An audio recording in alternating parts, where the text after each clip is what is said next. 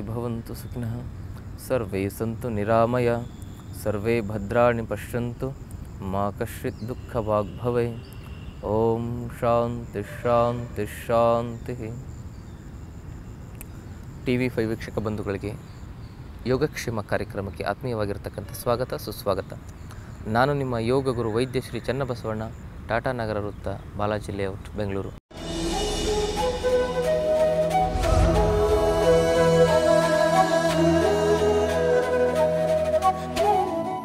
ಇವತ್ತು ಈ ಹೆಪಟೈಟಿಸ್ ಸಮಸ್ಯೆಗೆ ಇನ್ನಷ್ಟು ಪರಿಹಾರ ಸೂತ್ರಗಳನ್ನು ಒದಗಿಸಿಕೊಡಲಿದ್ದೇನೆ. ಇದಾದ ಮೇಲೆ ನಾಳಿನ ಕಾರ್ಯಕ್ರಮದೊಳಗೆ ನಿಮಗೆ ಬೆನ್ನು ನೋವಿನ ಸಮಸ್ಯೆ ಒಳಗೆ ಎಂತೆಲ್ಲ ಸಮಸ್ಯೆಗಳು ಉಂಟಾಗ್ತವ ಅವುಗಳನ್ನ ಹೆಂಗೆ ನಾವೆಲ್ಲ ಪರಿಹಾರ ಮಾಡ್ಕೋಬೋದು ಅಂತಕ್ಕಂಥದ್ರ ಬಗ್ಗೆ ಮಾಹಿತಿಯನ್ನು ಕೊಡ್ತಾ ಹೋಗ್ತೇನೆ. ಈಗ ನಮ್ಮ ಲಿವರ್ ಆಗಿರ್ಬೋದು, ಕಿಡ್ನಿ ಆಗಿರ್ಬೋದು, ಪ್ಯಾಂಕ್ರಿಯಸ್ ಆಗಿರ್ಬೋದು, ಸ್ಮಾಲ್ ಇಂಟ್ರೆಸ್ಟೈನ್ ಆಗಿರ್ಬೋದು, ಲಾರ್ಜ್ ಇಂಟ್ರೆಸ್ಟೈನ್ ಆಗಿರ್ಬೋದು, ಎಲ್ಲವನ್ನು ನಾವು ಸ್ವಚ್ಛವಾಗಿ ಇಟ್ಕೋಬೇಕಂದ್ರೆ ಅದಕ್ಕಿರ್ತಕ್ಕಂಥದ್ದು ಯೋಗದಲ್ಲಿ ಪರಿಹಾರ ಅಂದ್ರೆ ಬಂಧಗಳು, ಕ್ರಿಯೆಗಳು. ಆ ಬಂಧಗಳು ಯಾವ ಮೂಲ ಬಂಧ ಉಡ್ಯಾನ ಬಂಧ ಅಂತಕ್ಕಂಥದ್ದು ಈ ನಮ್ಮ ಉದರ ಭಾಗದಲ್ಲಿರ್ತಕ್ಕಂಥ ಅವಯವಗಳ ಸ್ವಚ್ಛತೆಗೆ ಬಹಳ ಮುಖ್ಯವಾಗಿರ್ತಕ್ಕಂಥದ್ದು. ಅದರ ಜೊತೆಗೆ ನೌಲಿ ಕ್ರಿಯೆ ಮತ್ತು ಅಗ್ನಿಸಾರ ಕ್ರಿಯೆಗಳು ನಮ್ಮ ಈ ಉದರದ ಸ್ವಾಸ್ಥ್ಯಕ್ಕೆ ಬಹಳ ಅತಿ ಅದ್ಭುತವಾಗಿ ಲಾಭವನ್ನು ಕೊಡ್ತವೆ. ಅದ್ರ ಜೊತೆಗೆ ನಾವೇನು ಮಾಡ್ಬೇಕಂದ್ರೆ ಒಂದು ವರ್ಷದೊಳಗೆ ಒಂದು ಸಲ ಆದರೂ ಪಂಚಕರ್ಮ ಚಿಕಿತ್ಸೆಯನ್ನು ಮಾಡ್ಕೋಬೇಕು ಅಂದ್ರೆ ಲಿವರ್ ಸ್ವಚ್ಛ ಇರ್ತದೆ. ಪಂಚಕರ್ಮ ಚಿಕಿತ್ಸೆಯನ್ನು ಉಚಿತವಾಗಿ ಮಾಡ್ತೀವಿ. ಅದಕ್ಕೆ ಔಷಧಿಗಳಿಗೆ ತಗಲುವ ಖರ್ಚನ್ನು ಮಾತ್ರ ತೆಗೆದುಕೊಳ್ಳೋದು. ಮತ್ತು ಆ ಔಷಧಿಗಳಿಂದ ಹಲವಾರು ಬೇರೆ ಬೇರೆ ನಾವು ಏನು ಔಷಧಿಗಳ ತಯಾರು ಮಾಡ್ತೇವೆ. ಅದಕ್ಕೆ ಮಾತ್ರ ನಿಮ್ಗೆ ಔಷಧಿಗಳಿಗೆ ಮಾತ್ರ ಚಾರ್ಜ್ ಮಾಡ್ತಕ್ಕಂಥದ್ದು. ಈ ಪಂಚಕರ್ಮ ಚಿಕಿತ್ಸೆಯನ್ನು ನೀವು ಸರಿಯಾದ ರೀತಿಯಲ್ಲಿ ಹದಿನಾಲ್ಕು ದಿವಸದ ಚಿಕಿತ್ಸೆಯನ್ನು ತೆಗೆದುಕೊಳ್ಳೋದ್ರಿಂದ ನಿಮ್ಮ ಲಿವರ್ನಲ್ಲಿರ್ತಕ್ಕಂಥ ಸಮಸ್ಯೆ ಸಂಪೂರ್ಣವಾಗಿ ನಿವಾರಣೆ ಆಗ್ತದೆ. ಅದರ ಜೊತೆಗೆ ನಿಮ್ಮ ಹೊಟ್ಟೆ ಭಾಗದಲ್ಲಿರ್ತಕ್ಕಂಥ ಅಯೋ, ಅವಯವಗಳ ಸ್ವಚ್ಛತೆಗಾಗಿ ಈ ಕ್ರಿಯೆ ಮತ್ತು ಬಂಧಗಳನ್ನು ಅಭ್ಯಾಸ ಮಾಡಬೇಕು. ಮೊದಲನೇದಾಗಿ ನೀವು ಮಾಡ್ತಕ್ಕಂಥ ಬಂಧ ಯಾವುದು ಅಂತ ಹೇಳಿದ್ರೆ ಮೂಡ್ ಮೂಲ ಬಂಧ ಮೂಲ ಬಂಧವನ್ನು ಹೆಂಗೆ ಹಾಕ್ಬೇಕಂತ ಹೇಳಿದ್ರೆ ಉಸಿರು ತೆಗೆದುಕೋಬೇಕು. ಉಸಿರನ್ನ ಸಂಪೂರ್ಣ ಬಿಡಬೇಕು ಹೊರಗೆ. ಉಸಿರನ್ನ ಬಿಟ್ಟ ಮೇಲೆ ಉದದ್ವಾರವನ್ನು ಒಳಗಡೆ ಎಳಿಬೇಕು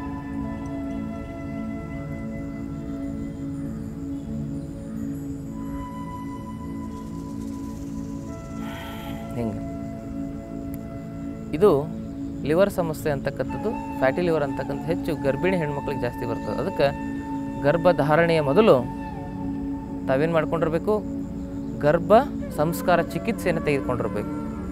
ಇವು ಗರ್ಭಧಾರಣೆ ಸಂದರ್ಭದೊಳಗೆ ಇವನ್ನೆಲ್ಲ ಕ್ರಿಯೆಗಳು ಮಾಡ್ಲಿಕ್ಕೆ ಆಗಂಗಿಲ್ಲ. ಅದಕ್ಕೆ ಗರ್ಭಧಾರಣೆ ಪೂರ್ವದಲ್ಲೇ ನೀವು ಮುನ್ನೆಚ್ಚರಿಕೆ ಕ್ರಮವಾಗಿ ಅದನ್ನು ನೀವು ತೆಗೆದುಕೊಂಡ್ರೆ ನಿಮಗೆ ಸಮಸ್ಯೆಗಳು ಬರೋಂಗಿಲ್ಲ. ಇಲ್ಲಾಂದ್ರೆ ನಿಮಗೆ ಬಂದಿರತಕ್ಕಂಥ ಸಮಸ್ಯೆ ನಿಮ್ಮ ಮಗುಗೂ ಬರ್ತದೆ ಮುಂದೆ. ಅರ್ಥ ಆಯ್ತಾ? ನಮ್ಮ ಲಿವರ್ ಎಂಥ ಒಂದು ಅಂಗ ಅಂದ್ರೆ ಮಗು ಚಿಕ್ಕ ವಯಸ್ಸಿನಲ್ಲಿರಬೇಕಾದ್ರೆ ಬೋನ್ ಮ್ಯಾರೋದಲ್ಲಿ ಅದಕ್ಕೆ ಬ್ಲಡ್ ಉತ್ಪತ್ತಿ ಆಗಂಗಿಲ್ಲ. ಲಿವರ್ನಲ್ಲಿ ಬ್ಲಡ್ ಉತ್ಪತ್ತಿ ಆಗ್ತದೆ. ಅಂದ್ರೆ ಬ್ಲಡ್ಡನ್ನು ಜನರೇಟ್ ಮಾಡ್ತಕ್ಕಂಥ ಶಕ್ತಿ ಲಿವರ್ಗೆ ಐತೆ. ಮಗು ಹೆಂಗಿರ್ಬೇಕಂತ ಹೇಳಿದ್ರೆ ಆ ಬೀಜ, ಮಗುವನ್ನು ಉತ್ಪತ್ತಿ ಮಾಡ್ತಕ್ಕಂಥ ಬೀಜ ಹೊಟ್ಟೆಯಲ್ಲಿ ಉತ್ಪತ್ತಿ ಆಗ್ತದೆ ಅಂಡ ಅದು ಪರಿಶುದ್ಧವಾಗಬೇಕಂದ್ರೆ ಪಂಚಕರ್ಮ ಚಿಕಿತ್ಸೆ ಮಾಡಿಕೊಳ್ಳೇಬೇಕಾಗ್ತದೆ.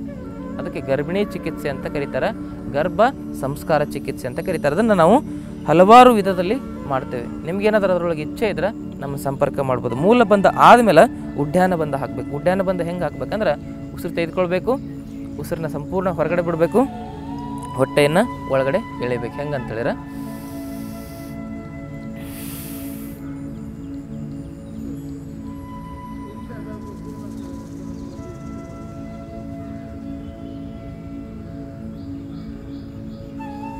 ಉಸಿರು ಹೊರಗಡೆ ನಿಲ್ಲಿಸಲ್ಪಟ್ಟಿರಬೇಕು. ಉಸಿರು ಹೊರಗಡೆ ಹೋಲ್ಡ್ ಆಗಿರಬೇಕು. ಉಸಿರು ಒಳಗಡೆ ಇತ್ತಂದ್ರೆ ಹೊಟ್ಟೆಯನ್ನು ಒಳಗಡೆ ಎಳಿಲಿಕ್ಕಾಗಂಗಿಲ್ಲ. ಇದು ಲಿವರ್ನ ಸಮಸ್ಯೆ ನಿವಾರಣೆ ಮಾಡಲಿಕ್ಕೆ ಅತಿ ಅದ್ಭುತವಾಗಿರ್ತಕ್ಕಂಥ ಒಂದು ಕ್ರಿಯೆ ಇದು. ಬಂಧ ಅಂತ ಕರೀತಾರೆ. ಉಡ್ಯಾನ ಬಂಧ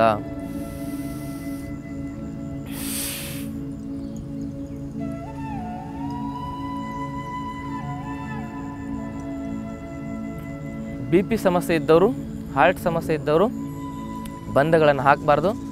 ಅಕಸ್ಮಾತ್ ಏನಾದರೂ ನಿಮ್ಗೆ ಹಾಕ್ಬೇಕಂತಿತ್ತು ಅಂತ ಹೇಳಿದ್ರೆ ಒಬ್ಬ ಒಳ್ಳೆಯ ಗುರುಗಳ ಮಾರ್ಗದರ್ಶನದಲ್ಲಿ ಹಾಕಬೇಕು. ಇದನ್ನು ಗರ್ಭಿಣಿ ಹೆಣ್ಮಕ್ಳು ಮಾಡಬಾರ್ದು ಮತ್ತು. ಗರ್ಭವತಿ ಆಗೋದಕ್ಕಿಂತ ಪೂರ್ವದಲ್ಲಿ ಇದನ್ನು ಅಭ್ಯಾಸ ಮಾಡಬೇಕಾಗ್ತದೆ. ಅಂದ್ರೆ ನಮ್ಮ ಗರ್ಭಧಾರಣೆ ಏನಾಗ್ತದೆ?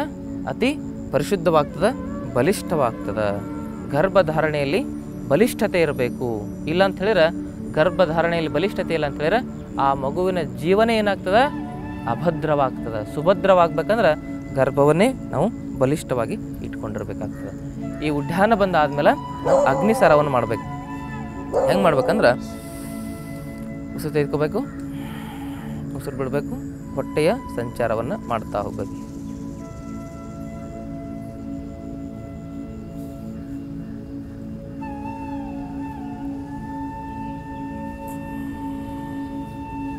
ಇದರಿಂದ ಏನಾಗ್ತದೆ?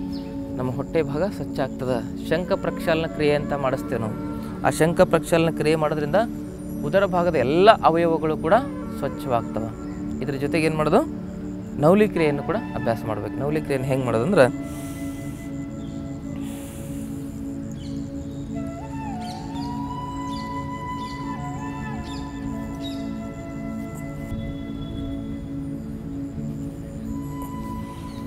ಹೊಟ್ಟೆನ ಒಳಗಡೆ ಎಳೆದು ಮಧ್ಯದಿಂದ ಸಡಿಲಿಸಿ ನೀವು ಹೊಟ್ಟೆನ ತಿರುಗಿಸ್ತಕ್ಕಂಥದ್ದು. ಹೆಂಗಂದ್ರೆ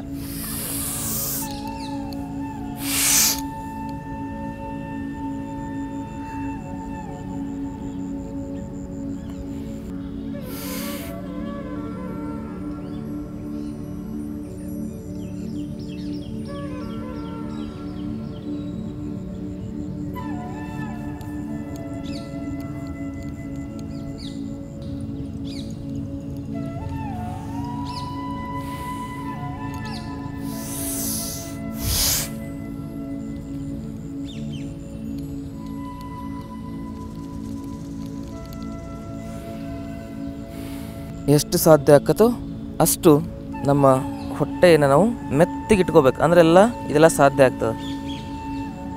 ಅರ್ಥ ಆಯ್ತಾ? ಅದಕ್ಕೆ ಪಮುಗರಂ ಪೇಟ್ ನರಂ ಸಿರ್ ಟಂಡ ಬಿಮಾರ್ ಕುಮಾರು ದಂಡ ಅಂತ ಹೇಳ್ತಾರೆ. ಹೊಟ್ಟೆ ಅವಾಗ ಮೆತ್ತಗಿರ್ಬೇಕು. ಕಾಲು ಬಿಸಿಯಾಗಿರಬೇಕು, ತಲೆ ತಣ್ಣಗಿರ್ಬೇಕು. ನಮ್ಮದು ತಲೆ ಬಿಸಿಯಾಗೈತಿ, ಕಾಲು ತಣ್ಣಗಾಗ್ಯದವು ಹೊಟ್ಟೆ ನೋಡಿದ್ರೆ ಎತ್ತರ ಪತ್ರ ಆಗೈತಿ. ಅದೆಲ್ಲ ಸರಿಯಾಗಬೇಕಂದ್ರೆ ನೌಲಿ ಕ್ರಿಯೆಯನ್ನು ನಾವು ಅಭ್ಯಾಸ ಮಾಡಬೇಕಾಗ್ತದೆ.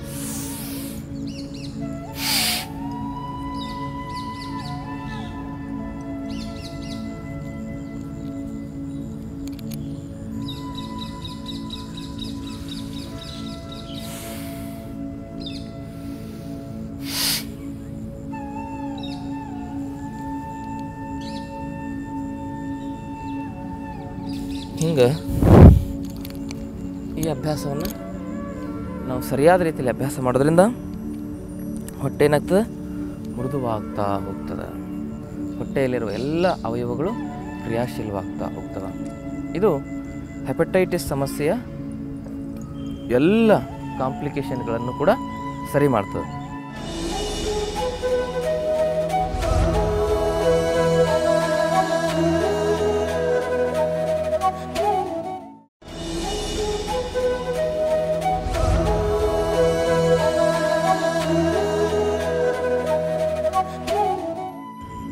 ಕೊನೆಯದಾಗಿ ಏನು ಮಾಡ್ಬೇಕಂತ ಹೇಳಿದ್ರೆ ಮೂರ್ಛಿತ ಪ್ರಾಣಾಯಾಮ. ಮೂರ್ಛಿತ ಪ್ರಾಣಾಯಾಮ ಅಂತ ಹೇಳಿದ್ರೆ ಇದನ್ನ ಮಾಡಿದ ಮೇಲೆ ಹೆಂಗೆ ಮಾಡಬೇಕು? ಇದರಿಂದ ಅತಿಯಾದ ಉಷ್ಣತೆ ಕಡಿಮೆ ಆಗ್ತದೆ. ಹೆಂಗೆ ಮಾಡಬೇಕು?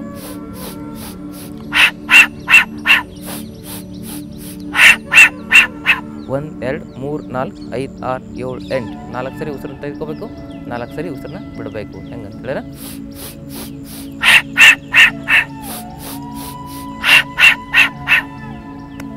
ಇದನ್ನು ಅಭ್ಯಾಸ ಮಾಡ್ತಕ್ಕಂಥದ್ದು. ಇದಾದಮೇಲೆ ಏನು ಮಾಡೋದು? ಯಾರಿಗೆ? ಉಷ್ಣತೆ ಜಾಸ್ತಿ ಇರ್ತದೆ. ಲಿವರ್ನಲ್ಲಿ ಸ್ವೆಲ್ಲಿಂಗ್ ಆಗಿರ್ತದೆ. ಉಷ್ಣದಿಂದ ಲಿವರ್ನಲ್ಲಿ ಹಲವಾರು ಡ್ಯಾಮೇಜ್ಗಳಾಗಿರ್ತವೆ. ಲಿವರ್ ಸರ್ವಿಸಸ್ ಆಗಿರ್ತವೆ ಅವರು ಅತಿ ಉಪಯುಕ್ತವಾಗಿರ್ತಕ್ಕಂಥ ಒಂದು ಪ್ರಾಣಾಯಾಮ ಅಂತ ಹೇಳಿದ್ರೆ ಶೀತಲಿ ಮತ್ತು ಶೀತಕಾರಿ ಸದಂತ. ಈ ಮೂರು ಮಾಡಬೇಕು. ಶೀತಲಿ ಅಂತ ಹೇಳಿದ್ರೆ ನಾವೇನು ಮಾಡಬೇಕು? ನಾಲ್ಗೆನ ರೋಲ್ ಮಾಡಿಕೊಂಡು ಉಸಿರನ್ನು ತೆಗೆದುಕೊಳ್ತಕ್ಕಂಥದ್ದು. ಹೆಂಗೆ?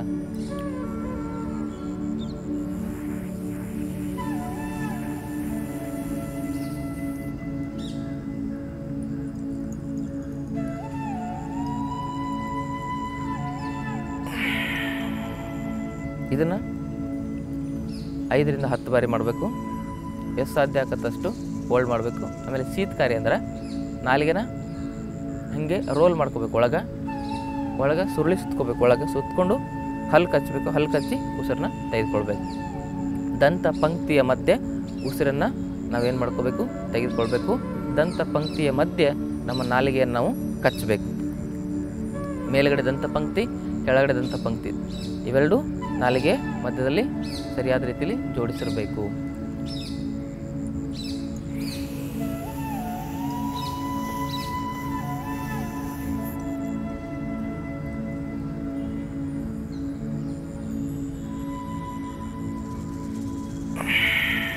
ಇದು ಶೀತಕಾರಿ. ಇನ್ನು ಸದಂತ ಪ್ರಾಣಾಯಾಮ ಅಂದರೆ ಹಲ್ಕಚ್ಚಿ ಉಸಿರು ತೆಗೆದುಕೊಳ್ಬೇಕು.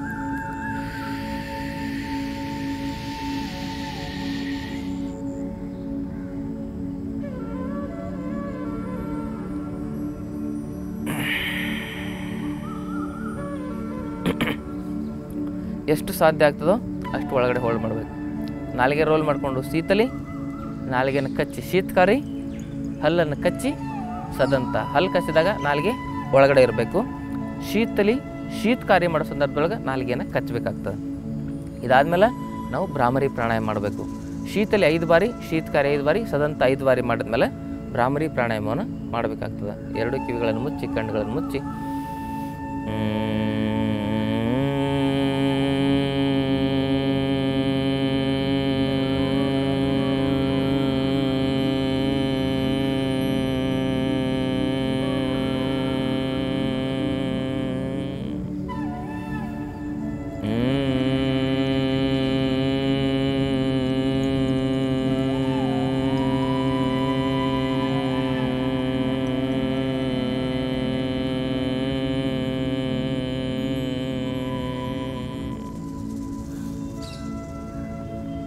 ಹಿಂಗೆ ಭ್ರಾಮರಿ ಪ್ರಾಣಾಯಾಮನ ಅಭ್ಯಾಸ ಮಾಡೋದ್ರಿಂದ ನಮ್ಮ ಮನಸ್ಸು ಶಾಂತವಾಗ್ತದೆ. ಎಲ್ಲ ದುಶ್ಚಟಗಳಿಂದ ಮುಕ್ತವಾಗ್ತೇವೆ. ದುಶ್ಚಟಗಳಿಂದನೇ ಈ ಸಮಸ್ಯೆ ಹೆಚ್ಚು ಬರ್ತಾ ಇರತಕ್ಕಂಥದ್ದು. ಆದ್ದರಿಂದ ಆತ್ಮೀಯರೇ ತಮ್ಮಲ್ಲಿ ಮತ್ತೊಂದು ವಿನಂತಿ ಏನಂತ ಹೇಳಿದ್ರೆ, ಕರ್ನಾಟಕವನ್ನು ನಾವು ನಶಾಮುಕ್ತ ಕರ್ನಾಟಕವನ್ನು, ನಾವು ಸರಾಯಿ ಮುಕ್ತ ಕರ್ನಾಟಕವನ್ನು ಗುಟ್ಗಾ ಮುಕ್ತ ಕರ್ನಾಟಕವನ್ನು ತಂಬಾಕು ಮುಕ್ತ ಕರ್ನಾಟಕವನ್ನು ಮಾಡಬೇಕಾಗ್ತದೆ. ಈ ನಿಟ್ಟಿನಲ್ಲಿ ಎಲ್ಲ ಮಾಧ್ಯಮಗಳು ಒಂದು ಜವಾಬ್ದಾರಿಯುತವಾಗಿರ್ತಕ್ಕಂಥ ಕೆಲಸವನ್ನು ನಿವಾರಣೆ ಮಾಡಬೇಕು, ನಿರ್ವಹಿಸಬೇಕು ಅಂತಕ್ಕಂಥ ವಿನಂತಿಯನ್ನು ಮಾಡಿಕೊಳ್ತಾ ಈ ದಿನದ ಕಾರ್ಯಕ್ರಮದಲ್ಲಿ ಮುಗಿಸ್ತಾ ಇದ್ದೀನಿ. ಸರ್ವ ವೀಕ್ಷಕ ಬಂಧುಗಳಿಗೆ ಅನಂತ ಕೋಟಿ ಶರಣು ಶರಣಾರ್ಥಿಗಳು.